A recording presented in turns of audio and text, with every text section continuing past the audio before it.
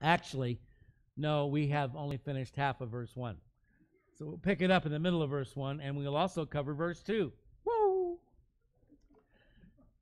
Let's read those two verses 2 Peter 1 1 and 2. Simon Peter, a bondservant and apostle of Jesus Christ, to those who have obtained like precious faith with us by the righteousness of our God and Savior Jesus Christ, grace and peace be multiplied to you in the knowledge of God and of Jesus our Lord. Let's pray. Father, we lift up this time in your word. It is a precious, precious time, a very valuable time for each and every one of us as we gather together to corporately study your word, to show ourselves approved, workmen that needeth not to be ashamed, rightly dividing the word of truth. Lord, that doesn't apply just to pastors and leaders, it applies to every member of the body of Christ that we should all be able to rightly divide your word of truth, to understand it, to be able to apply it to our lives and allow your word to impact us in such a way that it affects what we think, what we believe, and how we live. We ask you to bless this study this morning for your sake and for your glory. We pray in Jesus' name. Amen.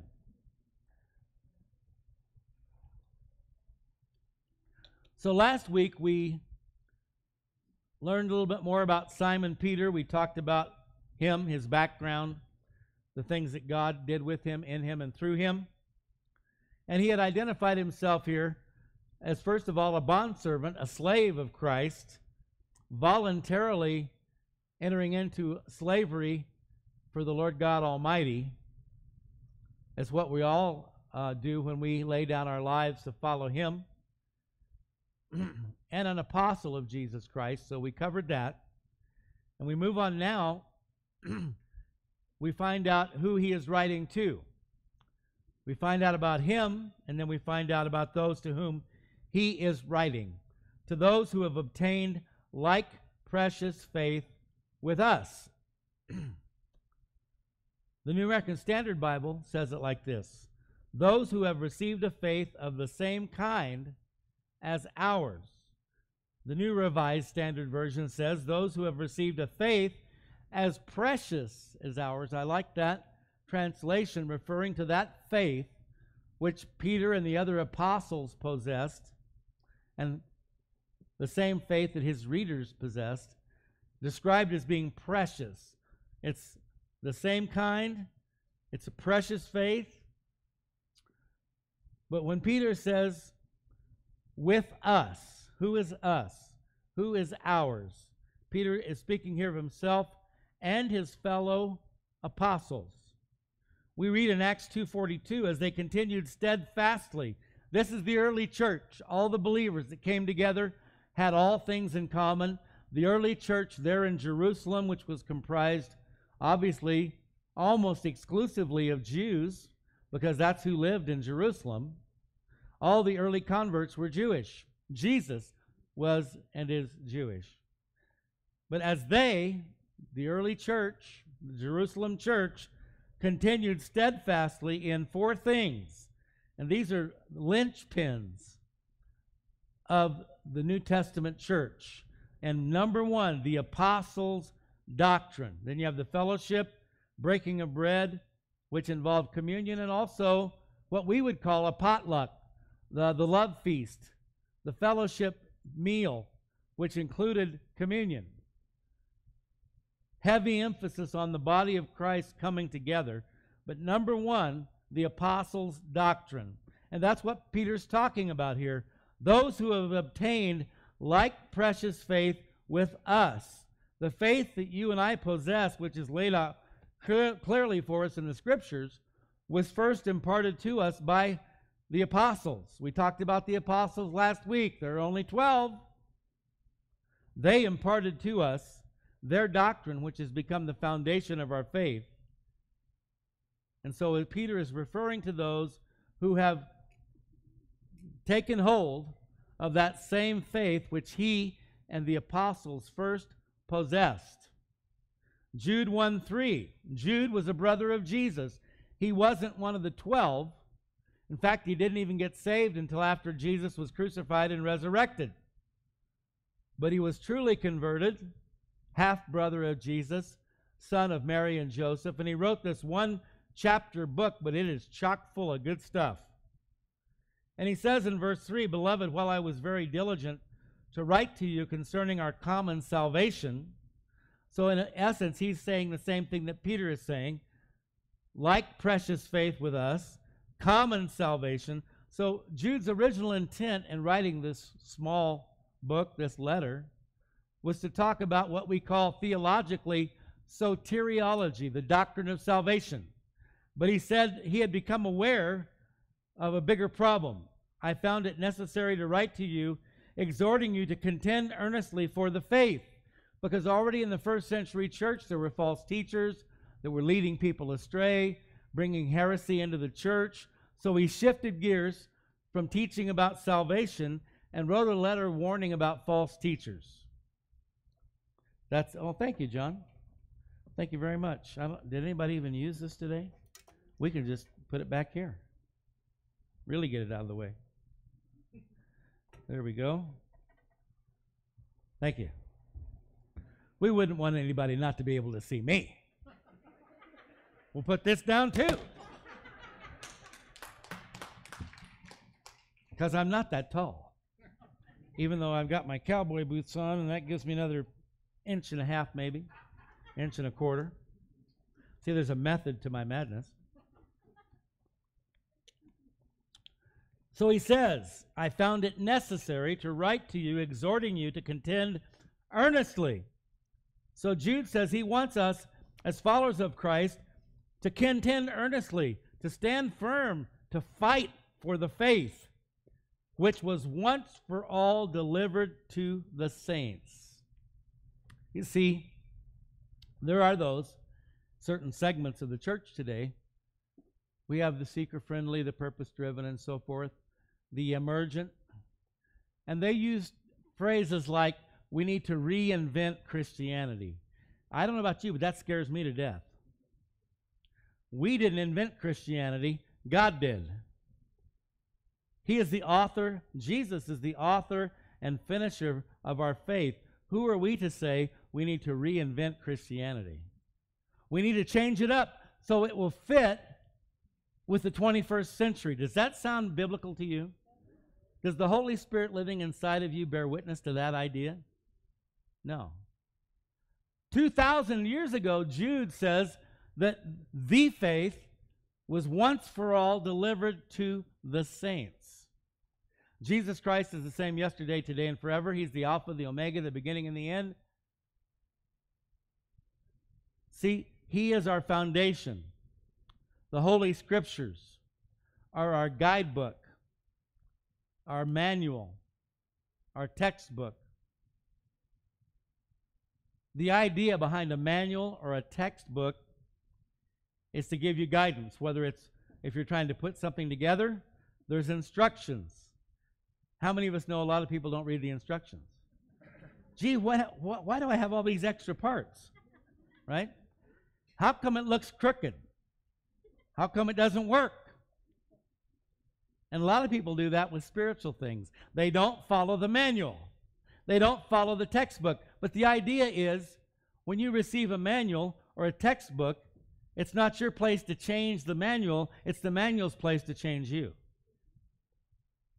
Once for all, delivered to all the saints. Because the Bible is a divinely inspired, God breathed manual, there's no need to change any of it. The idea is it's supposed to change us. That's what Peter's talking about here. Some would say, you've probably heard this, it doesn't matter who or what you put your faith in as long as you have faith. How many of you have ever heard that one? That is ludicrous. Some people put their faith in crystals, right? Tinfoil hats. Swamis, gurus, maharishis. Some people put their faith in athletes and entertainers. And that's insane. It absolutely does matter. Peter would heartily disagree with that statement. Doesn't matter who or what you put your faith in as long as you have faith. That's another part of that universalist deception. All pathways lead to heaven. All you have to do is be a good person, live a good life, and whoever or whatever God is will accept you and you'll go wherever you're supposed to go. We know this verse, John 3:16, for God so loved the world that he gave his only begotten son that whoever believes in him, not just any old thing or any old person, whoever some people believe in Elvis or Michael Jackson. Insert your favorite idol. The scriptures make it clear whoever believes in him should not perish, but have everlasting life. John 14, 6, another biggie. Jesus said, I am the way, the truth, and the life. No one comes to the Father except through me. Do you know what that means in the Greek? No one. No one.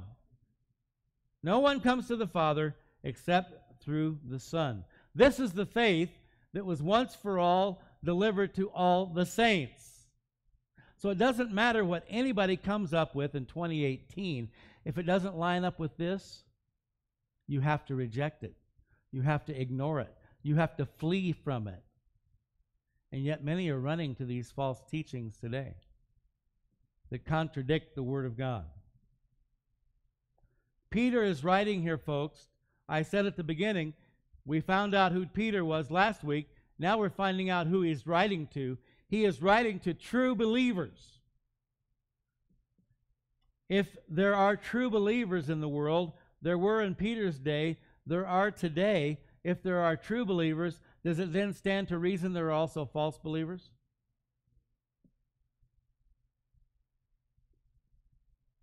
Peter's writing to true believers. Those who have been washed in the blood of the Lamb, born again by the Spirit of God. So, first, Peter has revealed to us who the recipients of this letter are, and now we find out how they obtained. How did they get to this place where they obtained a faith as precious as that of the apostles? And it is a precious faith because it's the only faith that can save any human being from the fires of hell. I'd call that pretty darn precious, wouldn't you? And I found myself again last night as I was doing my bedtime prayers, a practice that I have followed since I was a little kid, getting down on I don't haven't got down on my knees lately. I probably should. But when I was I used to get kneel down by my bed every night and say my prayers because that's what I was taught to do. But I found myself again last night thanking God for making himself known to me. Do you realize how precious that is? Do you realize that most people don't have that? the ability to really understand and recognize and believe that God is God, that He's the creator of all things, the master of the universe. And I trust that most, if not all of you here today, have had that same revelation. But we take it for granted, and we shouldn't, because it is precious. And it is vitally important because it's going to determine where you and I spend eternity. This life is short, this life is temporary the big league, not bigly, but big league, is heaven and eternity and paradise with God. Okay, so how did they get there? How do we get there? By the righteousness of our God and Savior, Jesus Christ. And I've said it before and I'll say it again because it says it right here. We have no righteousness of our own. For all those who sadly believe they can somehow gain entrance into God's eternal kingdom by their own efforts, they are sadly greatly deceived because it's only by His righteousness, by the righteousness of our God and Savior Jesus Christ. Romans 3:10 as it is written there is none righteous no not one and it doesn't matter now some people are better than others at giving an outward appearance of holiness and spirituality. And oftentimes that's very misleading and deceptive. But we have to go by what the Word of God says. There's none righteous, no, not one. And so those that you may look up to and revere and honor. And again, that's not a bad thing. Paul says, Be ye imitators of me, even as I imitate Christ. But again, what, what are the characteristics and qualities that we see in Christ that should be imitated? Humility, servanthood, right? And oftentimes we revere people who don't necessarily exhibit those qualities, but they might be charismatic. They might have a very dynamic personality, or they might be very um, accomplished orators and so forth. Those are not the qualities that Paul is talking about when he says, Imitate me as I imitate Christ. Humility, brokenness, servanthood. Those are the things that we should imitate.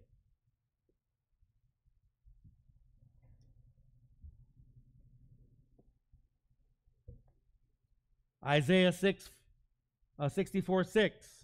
We are all like an unclean thing. That just, boy, that flies in the face of modern uh, spiritual correctness, if you will. Unclean thing. How dare you say that to me? I'm good enough, I'm smart enough, and doggone it, people like me. And you're telling me I'm an unclean thing? I'm going somewhere else. I came here to be made to feel good. Well, then you're going to have to pretty much throw out the scriptures because the scriptures tell us who we really are. In the book of James, it says the scriptures are like a mirror. We look into the mirror to find out who we are. I had somebody flick donut crumbs off of my beard this morning for me. Thank you very much. but if you don't look in the mirror, you might go out looking pretty bad, pretty ridiculous, right? That's why we have a mirror. Now, some people use the mirror too much. But there's a purpose so that we can make ourselves presentable. God's mirror, the scriptures, show us who we really are so that we can get right with God and then become that person that He created us to be and that He died on the cross for us to be. Make sense?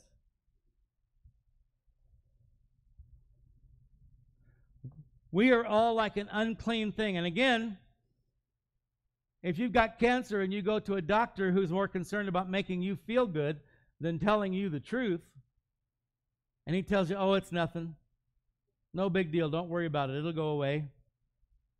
And then you die of cancer because you were misdiagnosed and mistreated. Are you now happy that he lied to you to make you feel good? I don't think so.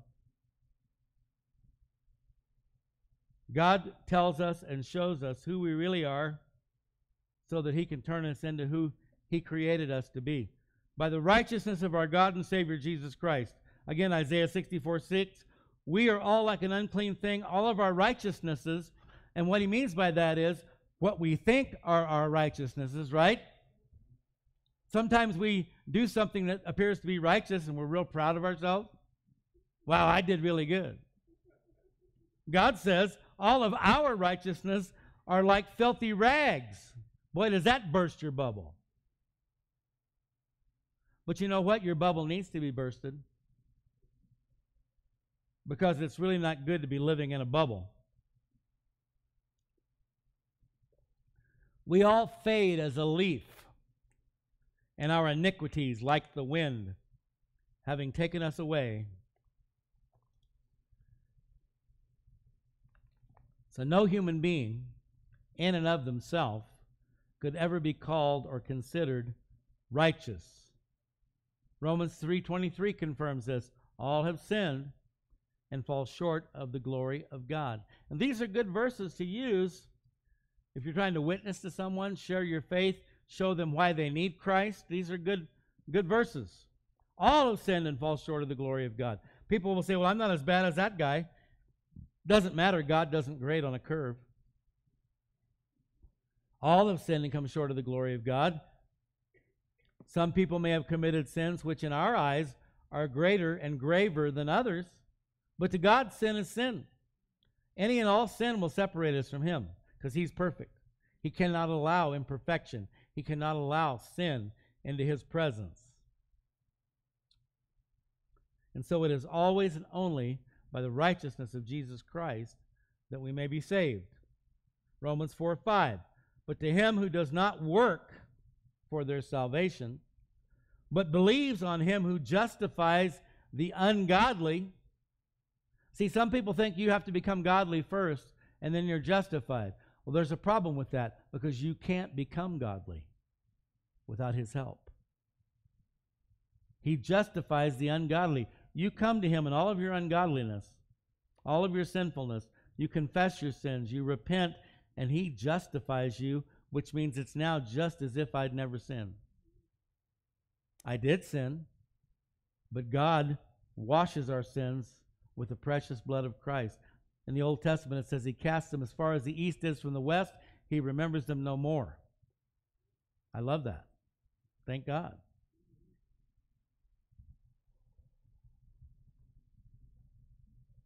To him who does not work, believes on him who justifies the ungodly, his faith is accounted for righteousness. So, how is it that we may obtain that same precious faith that Peter and the other apostles had obtained? It's by faith in Christ, his redemptive work on the cross of Calvary, his atonement for our sins, and then our faith is accounted for righteousness because we become clothed in the righteousness of Christ. 2 Corinthians 5:21 He the Father made him the Son who knew no sin and that's the only reason Jesus was able to die on the cross for our sins is because he became God incarnate, God in human form, God in the flesh, and he had no sin. He lived a perfect sinless life. Therefore, he was able to die on the cross as the substitute for our sins. He made him who knew no sin to be sin for us, that we might become the righteousness of God in him. The only way you can have righteousness and remain in a state of righteousness is to be in him, in Christ. Philippians 3 8 and 9. Paul says, Yet indeed I also count all things loss for the excellence of the knowledge of Christ Jesus my Lord, for whom I have suffered the loss of all things.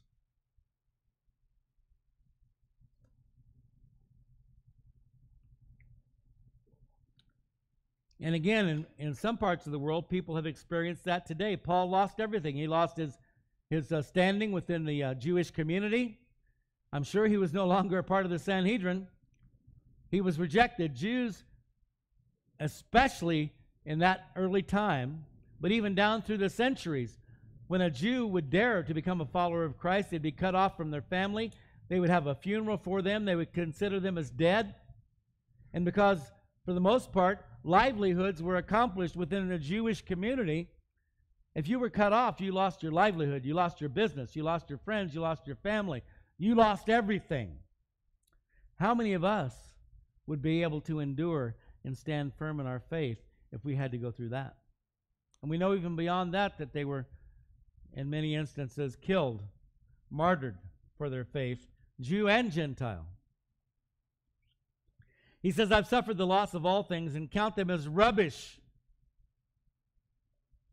Anything that this world may have to offer. Paul says it's just rubbish, it's garbage compared to knowing Christ, that I may gain Christ, be found in him, having not, not having my own righteousness, which is from the law. And by the way, Paul's not saying that you can become righteous by following the law. Study the book of Romans. The whole point is the law proves that we are not righteous because we cannot follow it 100%.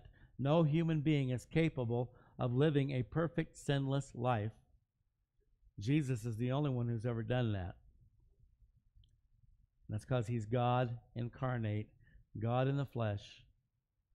Paul says, not a righteousness from the law, but that which is through faith in Christ, the righteousness which is from God by faith. This is how Peter's readers, and that would include us here today, obtained that like precious faith is by embracing the apostles' doctrine, which clearly teaches the only pathway to righteousness, holiness, forgiveness, salvation is through Jesus Christ, the Son of God, and the righteousness that He imparts to us as we put our faith in Him. I want you to note something. I kind of skipped over this, but notice we mentioned this last week, and I want to point it out again. Make special note of the fact that Peter refers to Jesus as our what? God and Savior. You see that? Again, if you ever get into a debate, we got so many people out there who want to say, well, no, Jesus never claimed to be God. That's something the Christians made up. Jesus was a good man, a good teacher, prophet, and so forth. Sadly, he died a tragic death unnecessarily. It was absolutely necessary. But for those who claim the Bible does not teach that Jesus is God, this is just one of the many scriptures that absolutely does say exactly that. Peter refers to Jesus as our God and Savior. Put that one in your file. Okay, verse 2. Hallelujah. Verse 2. Grace and peace be multiplied to you. So, one thing we see here is that his readers, as those who have come into possession of that same precious faith as the apostles, they already have grace and peace. Peter says, Let it be multiplied to you, let it increase. But this is a, a, a greeting that Peter, Paul, and John all used in their New Testament letters to the various churches and groups of believers. In fact, this phrase, grace and peace, is found 18 times in the New Testament.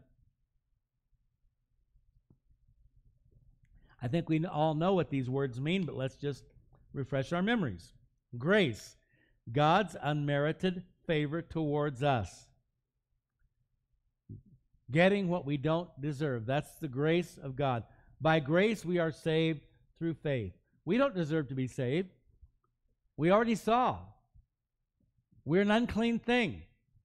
All of our righteousnesses are like filthy rags. We are sinners. We are born in sin. We're conceived in sin. But God's grace says, you know what? I love you anyway. He proved it by sending Jesus to die on the cross for our sins. Peter says, Grace and peace. Grace is God's unmerited favor towards us. We get what we don't deserve. We don't deserve forgiveness. We don't deserve salvation. We don't deserve eternal life. And I've said this before, and I'll say it again today as well. There are people out there who say, Well, I want what I deserve. I want what's coming to me. Really? Do you really? I don't think you do. It's funny because people think they deserve a lot more than they really do. The fact of the matter is, we deserve eternal punishment in the fires of hell. Again, that kind of strong language doesn't fly too well in today's world, but it's in the Bible. We already talked about that the Bible is the authority, not you, not me, not any other great so called philosopher, theologian, statesman, orator. The bottom line is God has the inside track, he's got the copyright on truth. Now, I'll just throw this in as a bonus. I, I liken it to a two sided coin, which all coins are two sided. The other side of the grace coin is mercy. Grace is getting what we don't deserve, mercy is not getting what we do deserve. We don't deserve salvation, we don't deserve forgiveness, but by the grace of God, we can have it if we want it by faith. Mercy is not getting what we do deserve. We've already talked about what we do deserve. So God's grace and mercy, two sides of that coin. But then we also have peace, which is another important element. Jesus is one of his many titles is Prince of Peace. He rode into Jerusalem on Palm Sunday on a donkey. In times of peace, the king would ride a donkey. In times of war, he would ride a horse. Guess what kind of animal Jesus is coming back on? A horse, baby. A horse is a horse, of course, of course. For all you old timers. Oh, Wilbur. But when he came on Palm Sunday, riding in down the Mount of Olives into the eastern gate in the city of Jerusalem, he was riding a donkey, proclaiming peace the Prince of Peace. He came to bring peace to the hearts of men and women and boys and girls.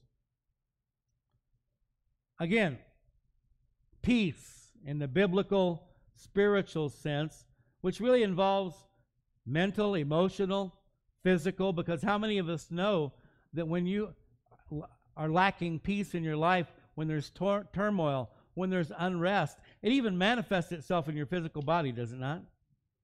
You can feel physically sick when there's no peace. He came the first time as the Prince of Peace, the King of Hearts. He's coming again as the lion of the tribe of Judah riding on a white horse will be coming with him, and it'll be his time to rule this planet. But peace, as we read about it in the Bible, Jesus said, Peace give I to you, not as the world gives. Had some interesting events this past week over in Korea or in Singapore. We talked about this last week. We prayed for a, a good outcome it would appear that there has been a good outcome in spite of all the negativity coming from the mainstream media, that there really could be a possibility of a nuclear, a denuclearization of the North Korean or the Korean Peninsula. But another aspect of that is an, an, an end to the Korean War, which has never officially ended after uh, 67 years, I believe it is. I don't know how many people even know that.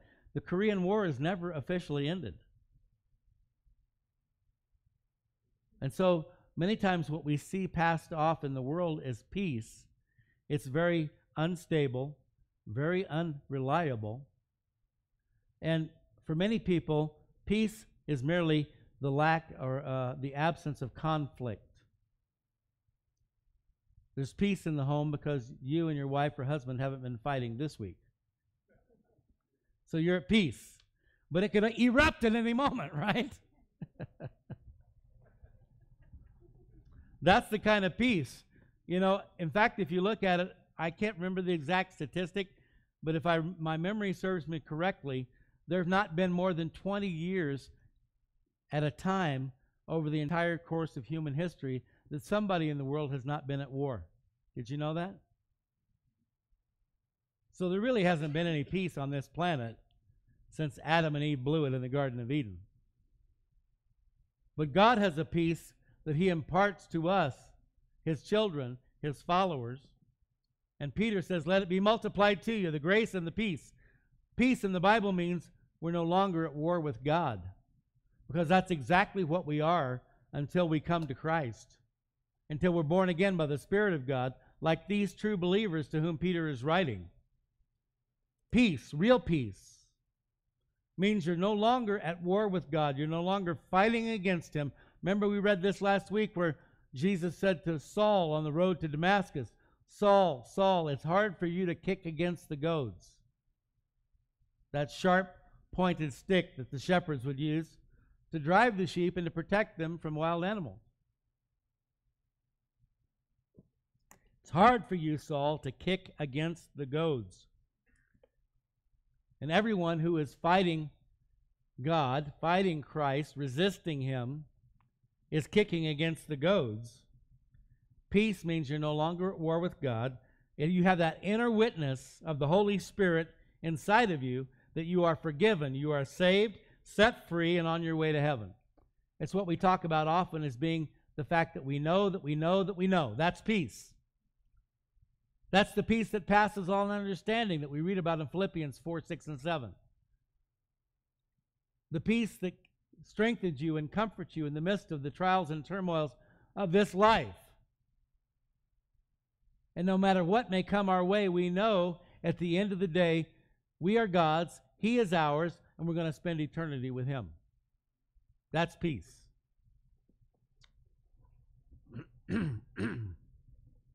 Romans 5 1 and 2. Therefore, having been justified by faith, we have peace with God through our Lord Jesus Christ through whom we also we have access by faith into this grace by which we stand and rejoice in hope of the glory of God.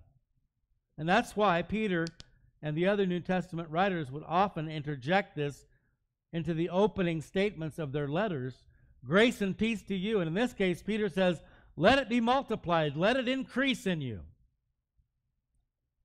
Because we stand. By grace we stand. God's unmerited favor whenever the devil comes and tries to lie to you and tell you you're a dirty, rotten, no good scoundrel. Just say, Amen, devil. You're right. But by the grace of God, I am forgiven, I'm saved, I'm set free, and I'm going to be spending eternity with Him in paradise. So take a hike. By grace we stand, and we have that peace in the midst of the storm. Peter, Peter's desire for his readers is that these virtues will be multiplied in their lives as they walk with God on a daily basis. Because what does he tell us next? In the knowledge of God and of, of Jesus our Lord. So grace and peace be multiplied to you in the knowledge of God and of Jesus our Lord. The only way that anyone can become a recipient of God's grace and his peace, Peter says, the knowledge of God, it's by knowing him. There's that old uh, bumper sticker um, N-O, no God, no peace, N-O-N-O. But no God, K-N-O-W, and no K-N-O-W peace. Get it? We can't not know true peace without knowing God. And obviously, without knowing and understanding His grace that He has imparted to us by sending His Son to die on the cross for our sins. So, this multiplication of God's grace and peace in our lives, because we have that honeymoon time as a new believer. When you first come to Christ and you first feel that tremendous weight of sin lifted off of you, how many remember what that feels like? Wow. You're forgiven. Wow, that's amazing. The weight is off. I don't have to carry the burden anymore. Jesus says, My yoke is easy, my burden is light. Cast all your cares upon me. Oh man, how refreshing. But then as we go through life, we realize that even we're now, though we're now forgiven and we've been given the precious gift of eternal life in Christ, the struggles of this life do not cease. And in fact, some ways they get even more difficult because you now become a target of the enemy. Before you were in his camp, you were gradually rotting away mentally, emotionally, physically, spiritually. The devil wasn't worried about you, but now that you're born again by the Spirit of God, you are definitely the enemy of the enemy. And so, in some ways, it becomes more difficult. And that's where this multiplication of God's grace and God's peace, because the more we grow in Christ, and mature in Christ, just like Paul said at the end of his life, I'm the chief of all sinners. When you're first born again and you're in the honeymoon phase and you feel so great, you're not thinking a lot about that. All you know is, boy, I'm forgiven and it feels so good. But if you study the writings of many great men and women of God, the more they grew in the grace and the knowledge of the Lord Jesus Christ, as they matured, the more aware they became of their sinfulness.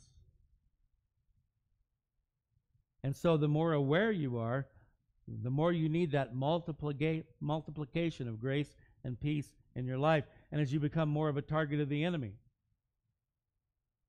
There's that old expression, ignorance is bliss. The Bible says sin is profitable or enjoyable for a season. There's a season out there where you're having all this so called fun, and sin seems like a pretty cool thing. But eventually it will take you down.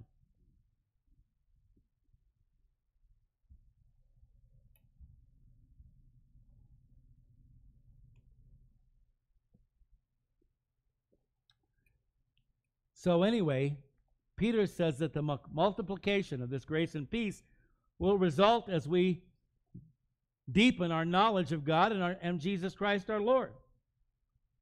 So it happens by opening our hearts and minds to the love made manifest to us through the death of Christ on the cross.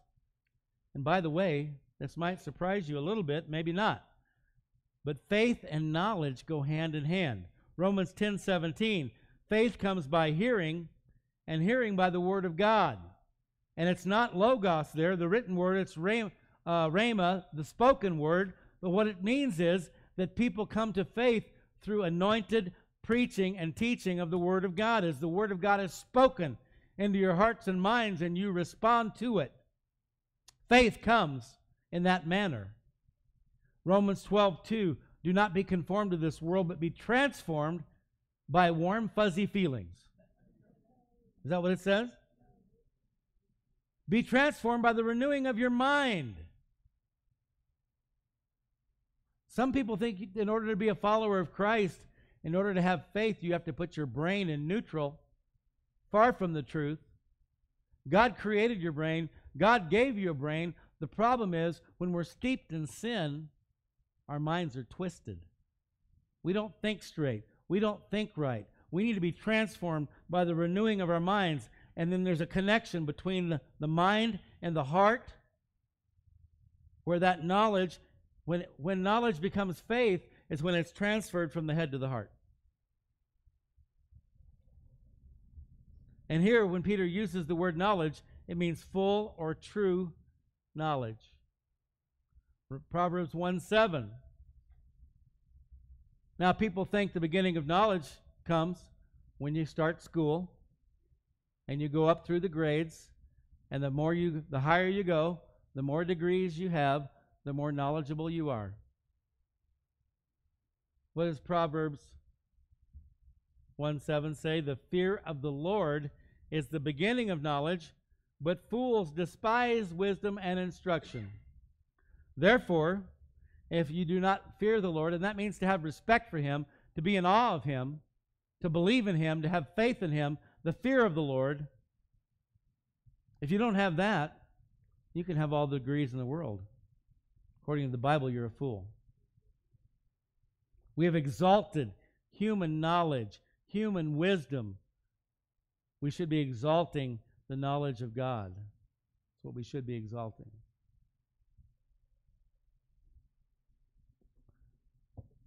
Knowledge without love, and that is the ultimate manifestation of the Spirit of God living inside of us. It's agape or agape, unconditional love.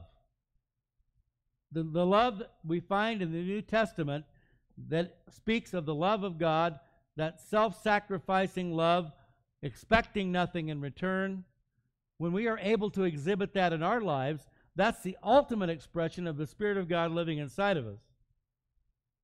So, knowledge, in fact, the love chapter, 1 Corinthians 13, that's what it's all about. Go home and read it. Knowledge without love leads to pride. Do you know that? And that leads to arrogance, liberal theology, and even apostasy. Do we all know what apostasy means? That you fall away from the faith. Someone very near and dear to me, I won't say who, this goes back quite a number of years now. This person went to work.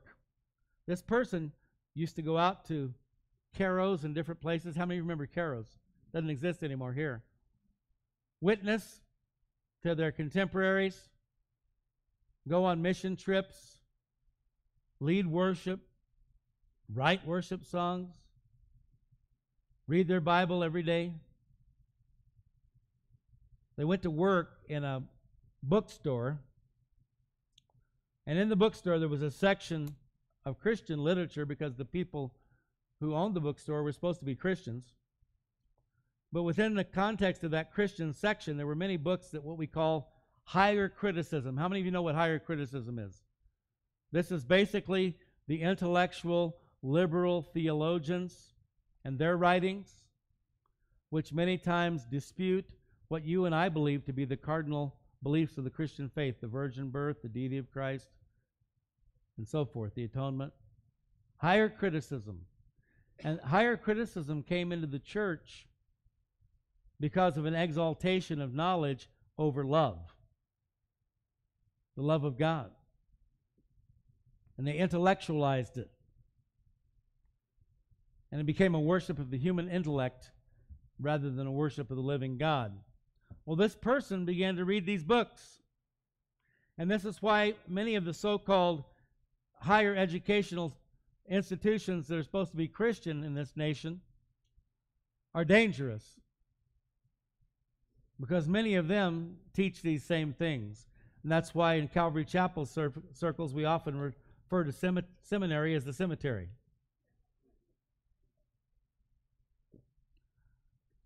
I'm not sure that I can actually I can almost guarantee you there are more people coming out of Christian colleges and seminaries that go in believers and come out non-believers than the other way around. That's a sad thing. Well, this person began to read the higher criticism, and eventually, because this person was and is very intelligent, and this is a battle, again, we exalt human intelligence.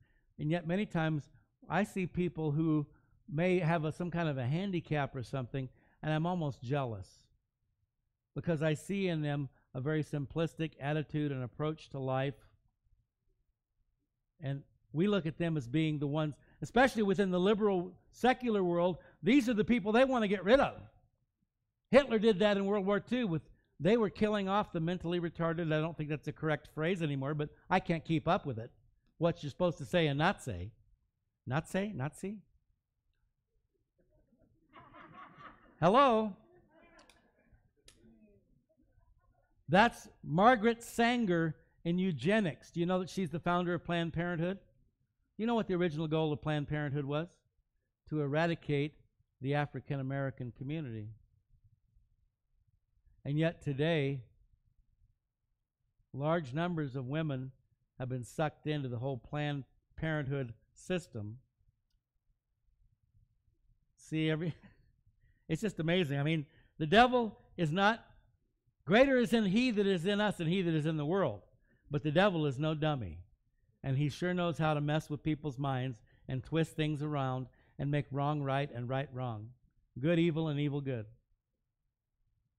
The whole lie. Planned Parenthood is about women's health the practices and the tenets of Planned Parenthood destroy women's health. That's the truth. Wow, really spinning off here. Not sure how I got there. Let me try to regroup my thoughts.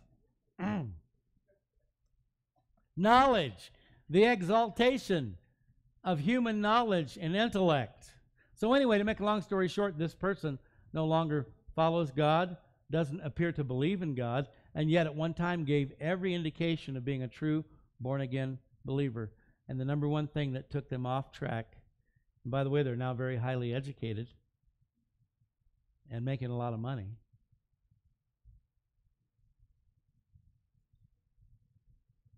The thing that led that person down the wrong path was the exaltation of human intellect and knowledge.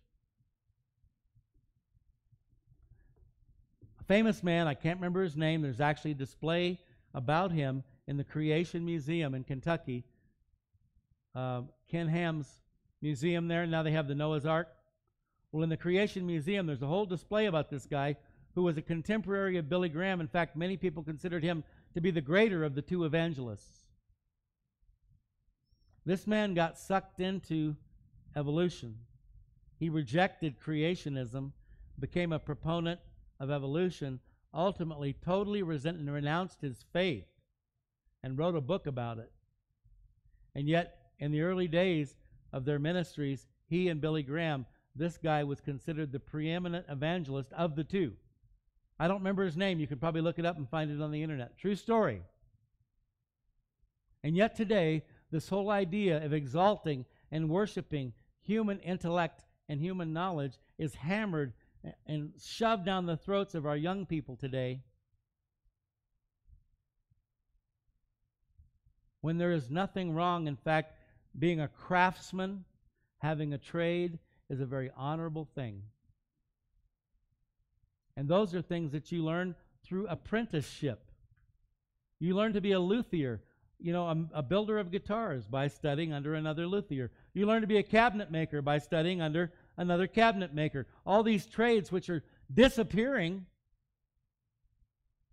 from our society and from our culture, and which provide many opportunities for people to earn a good, decent, honest living. And you've got multitudes of these kids who have pursued this human knowledge and intellect now have worthless degrees and owe the government hundreds of thousands of dollars, and they're living with their parents at age 30. You think I made a good point here? Absolutely. It's irrefutable, to tell you the truth.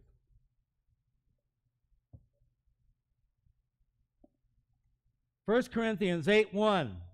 The Apostle Paul, who was a very knowledgeable man, he was a Hebrew of Hebrews, a member of the Sanhedrin. He said, I consider all that as rubbish, that I might know Christ.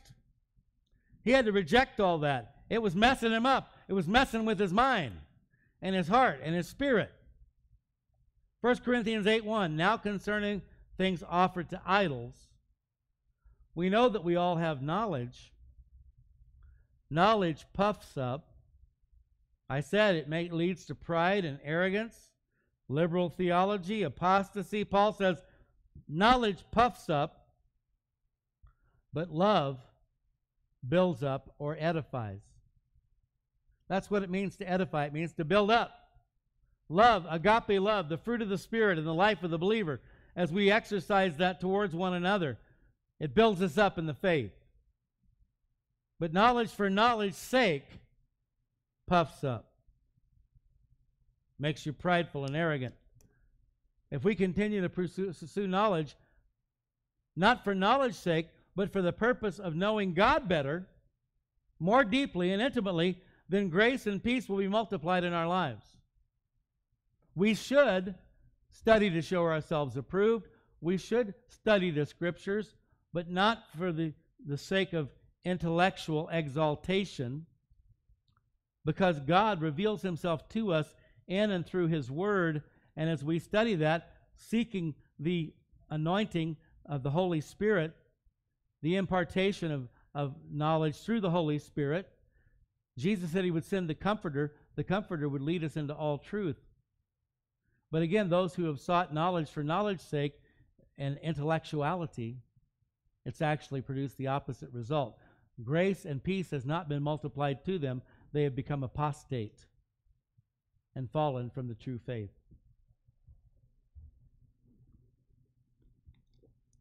You can receive Christ. Oh man, I totally lost track of the time. I only had three pages today, too. I thought, surely, you know, we can get through that. You can receive Christ as your Lord and Savior, be forgiven of your sins, and become a partaker of eternal life through Him, and never do anything else to advance your spiritual growth and maturity. Because we are all saved by grace through faith, you would still ultimately go to heaven. You know that? Now, there are some circles, some groups, very legalistic, that would try to tell you if you don't do these things, you're going to lose your salvation. I don't believe that. But we've, we've talked this morning about the danger of departing from these things. I don't believe God can or will take away your salvation. However, there's a lot of evidence to suggest that you can willingly forfeit it. You can walk away from God, like this man who is the associate of Billy Graham. And that's the danger. You could get saved, be forgiven, and never do anything else again to promote spiritual growth and maturity in your life and still go to heaven. But for one thing, you'd be worthless to God here on planet Earth, which could result in an early departure. 1 John 5 talks about that. A sin that does not lead to death versus one that does. Without pursuing an ever growing, ever deepening relationship with God, we will never fully know and experience the abundant life God has for us here on earth. John 10:10, 10, 10, I've come that you might have life, life more abundantly. If you choose not to pursue a path of spiritual growth and maturity, growing in the grace and knowledge of the Lord Jesus Christ, having grace and peace be multiplied in your life through the knowledge of God,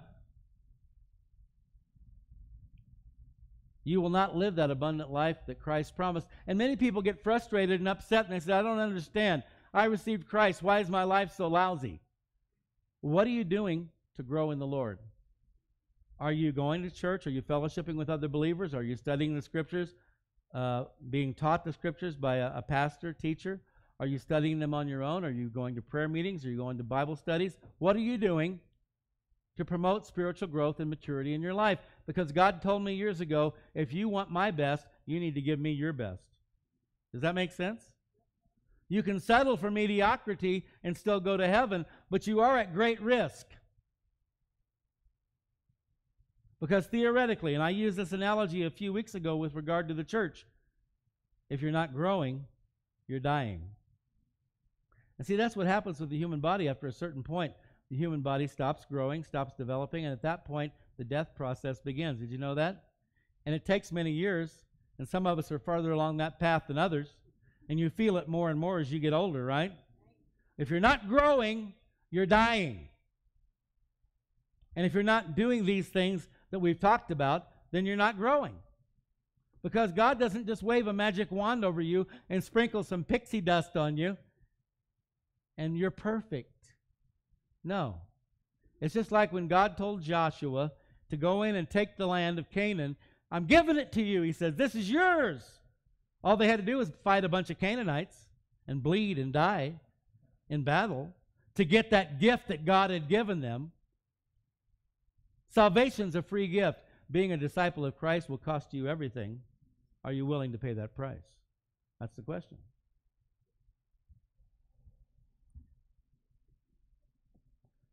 We'll never fully know and experience the abundant life God has for us here on earth if we don't pursue knowledge. Not for knowledge's sake, but for the sake of knowing Him more intimately, more deeply, that that grace and peace might be multiplied in our lives. Peter doesn't want it to diminish. God doesn't want it to diminish. He wants it to multiply. And we might very well end up a hot mess by the time we get to heaven. Paul talks about that in 1 Corinthians 3. Some people getting in as though escaping through the flames. Whew, that was a close one. Didn't know if I was going to make it. Oftentimes, this is kind of a sad statement, but I think it's true. Oftentimes, a sinner is happier than a believer who does not consistently pursue the things of God. Did you hear what I just said? Oftentimes, a sinner is happier than a believer who does not consistently pursue the things of God. This type of believer lives under the conviction of the Holy Spirit without experiencing the joy, peace, and righteousness that comes from a strong, intimate relationship with God. You could, I mentioned earlier, ignorance is bliss. Now, eventually, you're going to have to pay the piper, as Barry McGuire wrote many years ago. Don't you know someday you're going to have to pay the piper? But in the meantime, the ignorant believer is often happier than the complacent, apathetic, inactive Christian. When you know day in and day out because the Holy Spirit's telling you, hey man, you're not doing what you ought to be doing. You're not living the way you should be living. You need to get right with God. And you continue to resist that, you are much more miserable than the person who's lost in sin because they're blind. You're not blind. God has opened your eyes and you see the right way, but you're choosing not to pursue it.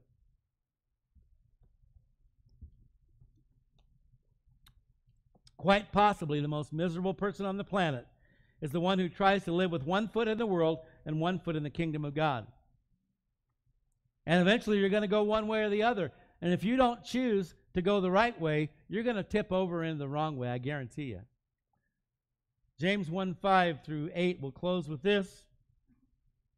If any of you lacks wisdom, let him ask of God, who gives to all liberally without reproach, and it will be given to him.